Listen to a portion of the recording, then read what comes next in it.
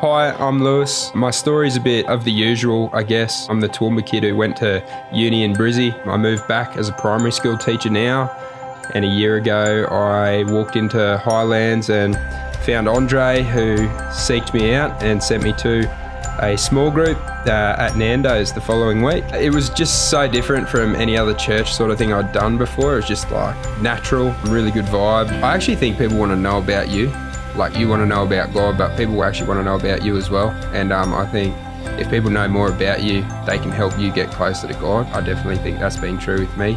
I reckon people who are thinking about small group, it's just awesome to dive into it. I think everyone's naturally hesitant at first, but life's a bit better when you've got people alongside you. You can get around people your age, you can get around people with the same interests as you. It's just awesome. Like, it's a great way of building bigger community outside of just church. If you're thinking about joining a small group, don't hesitate. I know I did at first, but there's so many easy ways to connect here at Highlands. If you just grab some of the people around you and just get in contact, um, it'll be a great choice.